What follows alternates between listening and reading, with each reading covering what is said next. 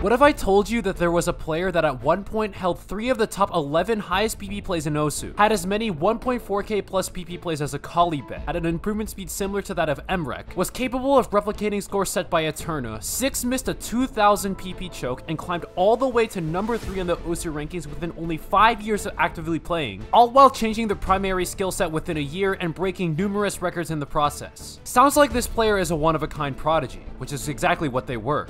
Cloutiful's rise to the top of the Osu rankings was nothing short of incredible, and there was nothing that could stop him. He would be the one to change everything. He was just one of a kind. Everyone knew that if he were to continue the historic pace that he was going at, soon enough we would see his name atop the Osu rankings behind the fastest rise up the ranks in Osu history. But then in 48 hours, everything changed. Yo! Yo!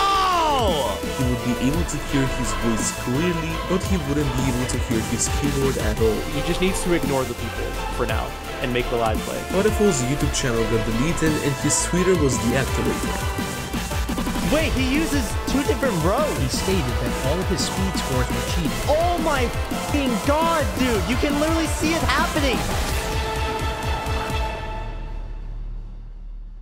Alright, that might have been a bit over the top. Let's start from the beginning. Cloutiful is an OSU player from Qatar who first created his OSU account on March 29, 2017. He initially didn't take a liking to the game and was mostly inactive starting out. He didn't have a month with a play count of at least 100 until more than two years later in April 2019, but once he started actively playing, the improvement he put on display was nothing short of incredible. After just one year of activity, Cloutiful already set a 500 PP play on the Haratan version of Haitai, which he set on October 8, 2020. This was quickly followed by his first 600 PP play on Today's Gonna Be a Great Day on December 5th, and by the end of the year, Cloutiful was firmly in the 4-digit ranks in just a year and a half of actively playing. It took him a while, at least for his standards, to set his first 700 PP play on June 10th, 2021 on the fiery diff of Guess Who Is Back. On this exact same map diff three months later, on September 16th, he would set his first 800 PP play, this time by 3 modding it. Unfortunately, his score setting streak would come to a halt as his playing activity would decline in the first half of 2022, as March was the only month he had a play count of at least 1,000 for the first 7 months of the year. And although he returned to actively playing in August, Cloutiful failed to set a new top play in 2022, which was disappointing for his pace at the time. It wasn't until February 5th, 2023 when Cloutiful would set his next top play, an 875 PP play on Just Dead Ice. That was the spark he needed to get back to his insane growth once again. 20 days later, his rapid fast improvement showed itself once again when he set his first 900 PP play on Lonely Go. Cloutiful would finally break the 1000 PP milestone by setting his first 1k on 5150 on August 12, 2023.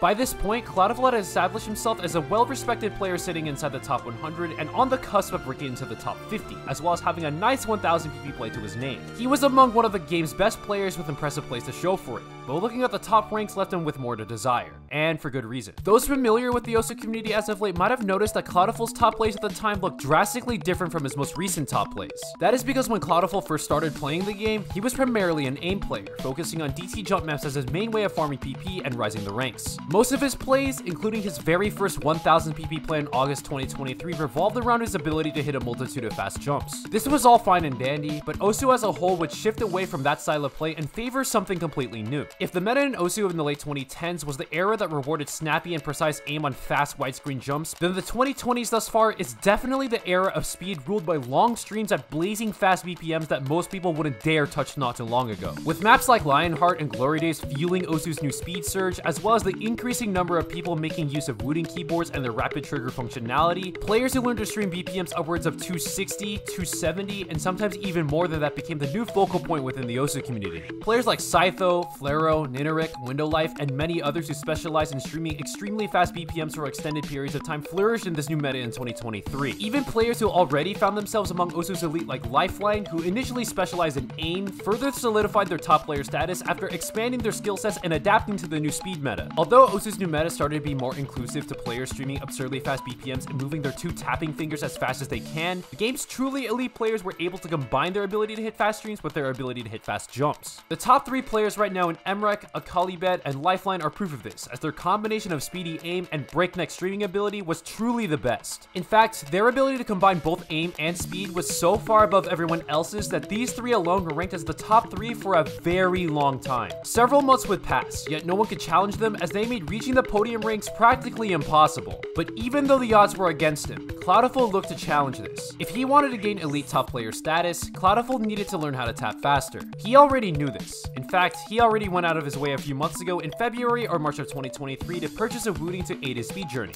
Now, with the Wooting in hand, he looks to develop his speed to rival the best speed players in the world. But no one could have possibly expected just how fast his streaming speed would improve. On October 19, 2023, Cloutiful's speed progression would make itself known as he would set a new top play on Yami no Maho Shoujo. And in true Cloutiful fashion, once he set one score, his improvement would accelerate faster than before. On Halloween of 2023, Cloutiful would set his first 1.1k PP play with a 3-mod FC on Snow Goose. The name of this map should definitely ring a bell to all current Osu players and people familiar with this story, but this isn't the Snow Goose you're all thinking of. For those who don't know what events follow suit, take note of these two words. We'll come back to this later. Anyways, just 18 days after his first 1.1k PP play, Cloutiful would immediately set a new top play by 3-modding the short version of Sidetrack Day. And just like that, we have now witnessed a player who was once exclusively an aim player turn their playing career around and morph themselves into one of the best speed players in record time. Three months ago, his top play and first 1k looked like this. Now his two top plays look like this. He FC'd two maps with 300 BPM and 282 BPM streams with double time respectively for his first two 1.1k PP plays. A transformation like this is unprecedented. Hardly anyone could make such a drastic change in their playstyle like this, let alone at the rate that Cloutiful was going at, yet he was doing this like it was nothing. Thanks to this change in his playstyle, by the end of 2023, Cloutiful found himself inside the top 20, sitting at number 19 on the OSU rankings. But he knew he could take this further, and so he did. If 2023 was the year that Cloutiful would establish himself as a top tier speed player, 2024 was when he would solidify himself as one of the world's best players, period. He would show that his game didn't skip a beat with this play on the fiery diff of Brazil on January 13th, where if he hit this one circle, he would have skipped 1.2k altogether. But regardless, a brand new top play was nothing to get upset about. Besides, even if he were upset with this play, he didn't have to worry about it much longer because just 16 minutes later, he would set another top play on Brazil, this time on the Kuki diff. This was the play that got him to the top 10 for the first time ever, and simultaneously took out Aetrna from the top 10 for the first time since July of 2020. This was the first bit of history Cloutiful found himself a part of, but soon he would do more than just that. His speed and aim combo would quickly begin to hit the ground running after he set his new top play on Bed, Bath, and Batman Beyond on February 18th. This was quickly followed by another top play on Juvenile the very next day. As crazy as back-to-back -back top plays on two consecutive days was, it would look nothing in comparison to what he would do in the upcoming months. On March 7th, 2024, Cloutiful would set a 1,432 PP 1 misplay on Valley of the Veil. This was a 1.3k PP skip, and he did this just 18 days after setting top plays on back-to-back -back days. With this play, Cloutiful entered the top 5 for the first time ever. Now, Cloutiful was being hailed as one of the fastest rising stars in the game and proved that he could reach the top ranks at historic rates. His rise to this point was incredible, but climbing higher would only continue to get more difficult from here on out. In order to contest the TB top ranks, Cloutiful needed to continue his historic pace for an extended period of time. And so, he did. But he didn't just continue the pace that he was going at. No, his already historic pace would actually accelerate. 22 days later on March 29th, Cloutiful would set his second 1.4k PP play on Sidetrack Day. This was not your ordinary 1.4k PP play. This play was actually a 1.8k PP record choke. This was the exact same map that akolibed holds the current PP record on, and although Cloutiful found 6 misses during his play, he actually beat akolibed's accuracy by more than a full 1%. Just one year ago, Cloutiful was known as just an aim player. Now he was one of, if not the best active speed player in the world. This all seemed too good to be true. I mean, players have added new skill sets to their game in the past, but no one did it as fast and as seamlessly as Cloutiful did with adding speed to his back pocket of already abnormal improvement. Something like this was truly one of a kind within the Osu community. But we didn't have much time to think about this because he would continue to put in work.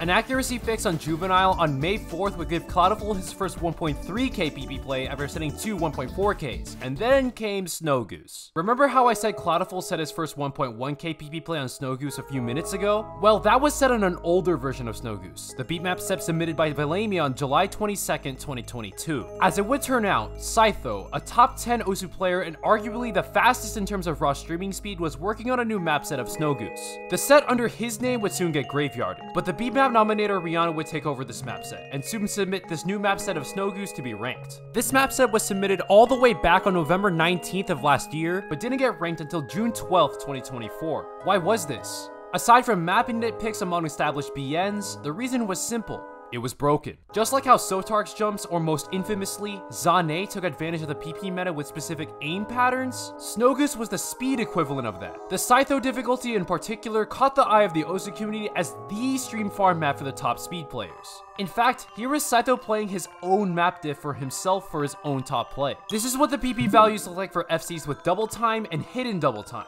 And with a large amount of PP on the table, the best speed players began to feast, and that included Cloutiful. It didn't take long to out on Snowgoose because on June 13th, 2024, just one day after the map got ranked, Cloutiful would FC the Scytho diff of Snow Goose for his new top play. And not just his new top play, but he entered the top 3. Getting into the top 3 in Osu is something very few people can say they have done but entering the top 3 in this current era of Osu is another thing on its own. As mentioned before, no one could catch up to mrekk, akolibed, and Lifeline. These three found themselves in the top 3 together since January 11th, 2023, and they would never let anyone else enter Osu's podium ranks for almost a full year and a half straight, but Cloutiful would be the one to finally separate Osu's modern day big 3. For the first time in 519 days, there was a new player in the top 3 of the Osu rankings. How did Cloutiful celebrate this? by setting a 2000 PP choke 6 hours later. What the actual fuck? So yeah, that is real. That just happened apparently. Immediately after FCing Snow Goose with hidden double time, Cloutiful would try his hand at 3 modding it. If someone were to get a 3 mod FC on the Scytho diff of Snowgoose, they would easily set a new PP record but could also very well set a 2000 PP play. Cloutiful managed to FC more than two-thirds of the map before finding 6 misses. He got less 100s with Hard Rock than without, and he forced the Osu community at large to accept that, yes, a 2000 PP play was actually possible. The legacy was cemented.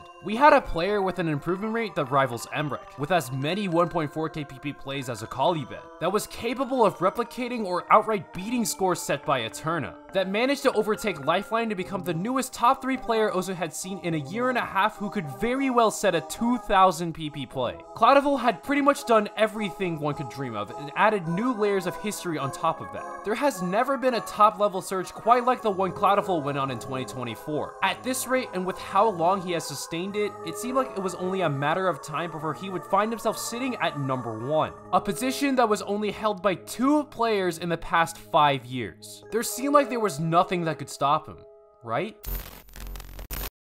What Cloutiful had done was absolutely unbelievable and a crazy sight to marvel at. But looking at this with a much more analytical standpoint, it's possible to think that this is just a bit too crazy. With any prodigy in any game, there are those people that accuse them of cheating in some kind of way. It's not good when you look up to a person and then suddenly he starts calling you a cheater, man. Osu specifically doesn't really have a good anti-cheat system, and there have been numerous instances of players reaching the high ranks with their cheats going undetected. For instance, during the aptly named 2016 cheating fiasco, the player Karai made it to number 7 before admitting to using Time Warp and promptly getting banned. Also in the 2016 cheating fiasco, the player Glitter Goose made it to number 13 before submitting a cheated play on purpose to get banned since it was clear that Osu staff wasn't going to do anything otherwise. In the case of Fia and Fushimi Rio, they were a multi-account cheating scheme that tampered with the 2022 Osu World Cup with illegitimate play, the largest and most prestigious tournament of the year. It took a 44-page document of hard evidence to prove their case of multi-accounting in order to get them banned. On the opposite of this problem, some legitimate players like Vaxei, Whitecat, and mrekk were relentlessly berated with cheating allegations. And in the cases of Filsdelama and Azurite, they were handed false restrictions despite being innocent. The absence of an anti-cheat has pretty much made both active suspicion of top players normal, and so it was only natural that some people were at least kind of skeptical of what Cloutiful was doing.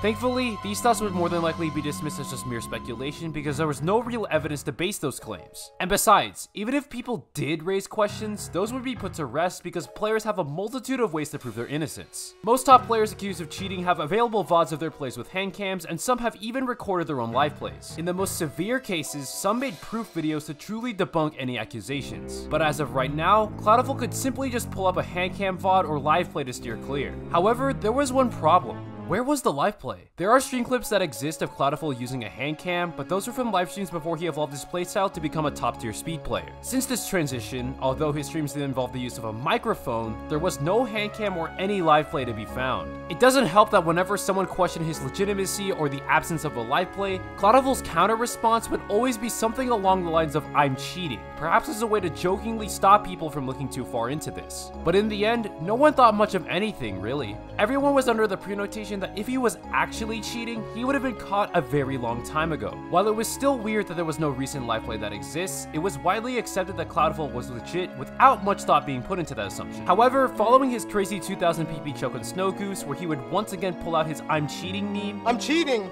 I'm literally cheating. I'm literally cheating. Speculation would unexpectedly reach a deeper level. On June 15th, 2024, the user ChildFangirl would make this post on r slash Osu report suspecting Cloudful of using relax cheats. They noticed something particularly strange about Cloudful's play. Specifically, they had gripes with Cloudful's average circle hold time, which is the amount of time a key's input is held when tapping before being released. To prove their case, they made graphs of hold times of known legit players and Cloudfuls. Looking at the graphs of the legit players, we can see that their hold times follow a normal distribution graph. If we were to draw a line of the data points of the graph, we can see that it follows a natural bell curve, favoring a specific interval of hold times at the points of higher frequency, but with a degree of deviation denoted by the points of low and medium frequency. Now looking at Cloudful's graph, his hold times also follow a normal distribution, except the bell curve of his graph is much more narrow, instead spiking at the 63 millisecond mark with little to no deviation at all. This immediately put Cloudful's play into question because a low hold time deviation like this is very unnatural, and the absence of a recent live play up to this point made this all the more suspicious. With the increasing amount of accusations, Cloudful, with the mounting pressure, would prepare himself to post a live play the very next day. But when tomorrow rolled around,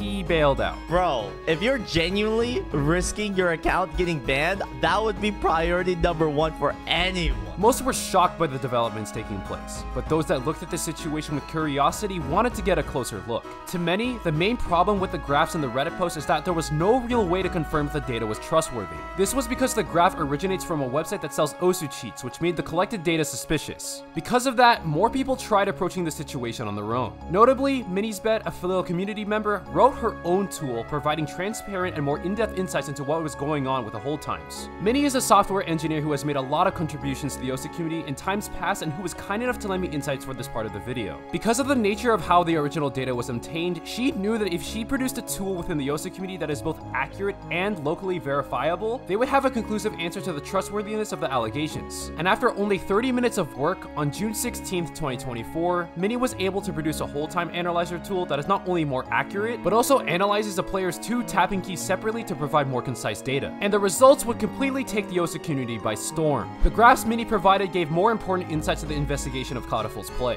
First and foremost, there was the confirmation of the merit of Child Fangirl's accusations. Additionally, they provided more accurate data as the graphs Child Fangirl provided would run in steps of 3 milliseconds, while those from Minnie would narrow it down to the single millisecond. But most notably, since her graph separated the two input keys of Osu, we were able to see something interesting.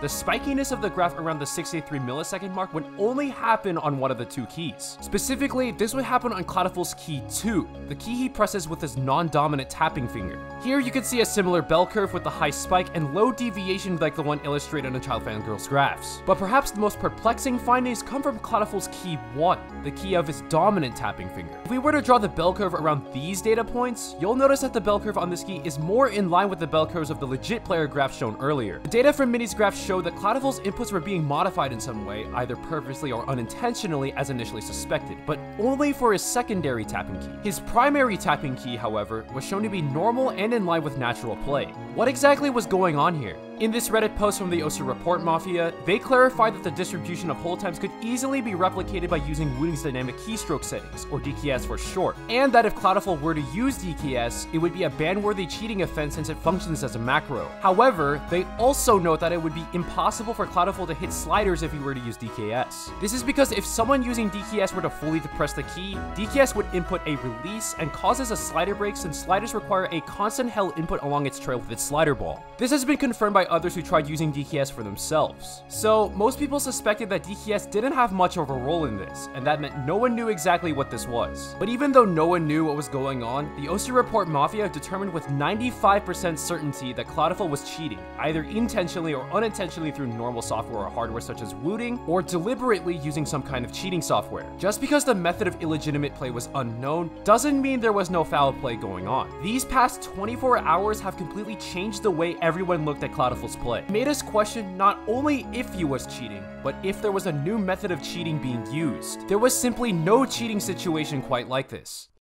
It's June 17th, 2024. Cloutiful would finally upload his long-awaited live play to YouTube. And this might be the strangest live play a top player has ever produced. First, there was the immediate problem of Cloutiful entering his password on camera for 30 seconds. But as far as the live play itself is concerned, it had a lot of red flags. 1. Cloutiful shows us the utility settings that he would use during this live play, but it's clear that there are other profiles present. With the keyboard shortcut function and enter, you can quickly access your other utility profiles, which Cloutiful is seen inputting before the start of his live play on Snowgoose. This indicates that he tried to hide the fact he was switching utility profiles without manually pulling up the utility software. 2. Cloutiful taps on two diagonal keys with his fingers, which is atypical for most other players. Additionally, the angle of the camera conceals how he was tapping with his ring finger, which as we know from Minnie's graphs is the key with the abnormal hold time distribution. This concealment, whether intentional or not, makes it more ambiguous to examine how exactly he arrives at the suspicious hold time consistency. 3. Viewers of the live play have noticed that his tapping doesn't always match what is shown on the key display. If his real life tapping matched with what registered in-game, there would be no problems, but this provided real-time proof that there was something wrong with the live play.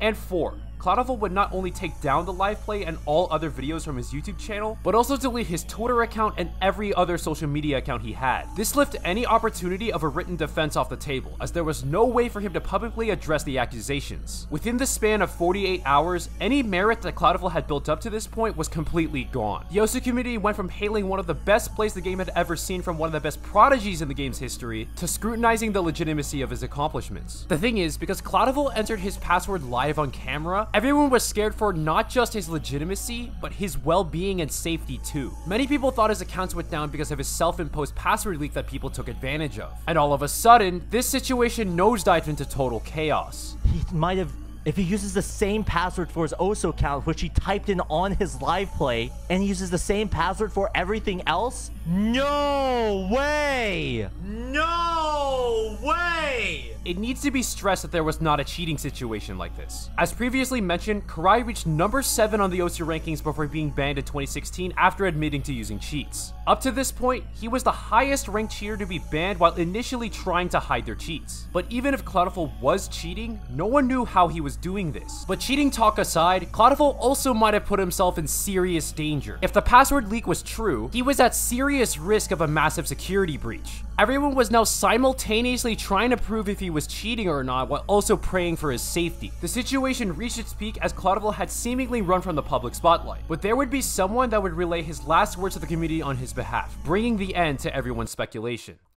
On that same day, the top UK OSU player Plasma would put out this tweet, saying that Cloutiful has admitted to using a dynamic keystroke to gain an unfair advantage when tapping and provided an explanation for how it works. With DKS, someone can set up to four different actions at four different points of a keystroke. First, during its initial actuation, next when the key is fully depressed or bottoms out, then when the key starts going back up during the initial release, and lastly when the key retracts back to its highest actuation point. Cloutiful set up his key 2 to only activate on its release. This allows his key 2 to register an input upon release and immediately end that input afterwards since the key was bound to nothing else. As mentioned before, this would not work for hitting slider since it automatically inputs a release, which is why key 1 is left unchanged. So we get around the slider problem since key 1 could be held as normal. And this exact setup lines up with Minnie's graph showing the unnatural hold time deviation of Cloutiful's key 2 and the normal deviation of his key 1. Pressing these two keys in conjunction leads to an input scheme where key 1 would register a key press during both keys' initial actuation, and upon the release of both keys, key 1 would deactivate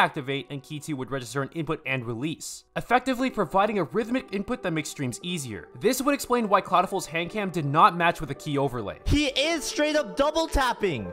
It's not some technique my god! And when analyzing one of Cloutiful's replays, an extraneous input is made when tapping strings with an odd number of notes since this technique results in an even number of inputs since both keys are being pressed. Cloutiful had now confessed that all of his speed scores were cheated, and there is evidence to show that he did this as far back as April 2023, backed up by hold time graphs from those times. And just like that, everything crashed down within 48 hours. This news left everyone feeling a wide variety of emotions, but at the end of the day, everyone shared one feeling disappointment. The accomplishments, the scores, the records, all of that was now tainted. If most of everything that led us to this point was never real to begin with, what was the point of getting invested in it? Those thoughts and many more along those lines rushed into everyone's minds as they waited for the official end of this saga to come. And that would arrive on the very next day, as on June 18th, 2024, Cloutiful's Osu account would be restricted, making his rise to number 3 the highest rank anyone achieved before being banned while trying to hide their cheats. It's crazy to think just how little remains after all of this was uncovered. What was once the story of one of the best prodigies Osu had ever seen and someone who could finally bring an end to the standstill atop the Osu rankings is now devoid of anything that made it so special in the first place. All we have left is one number that people might jokingly use with a negative connotation that also serves as a reminder of what once was and our collective thought of what could have been. Moral of the story, don't cheat.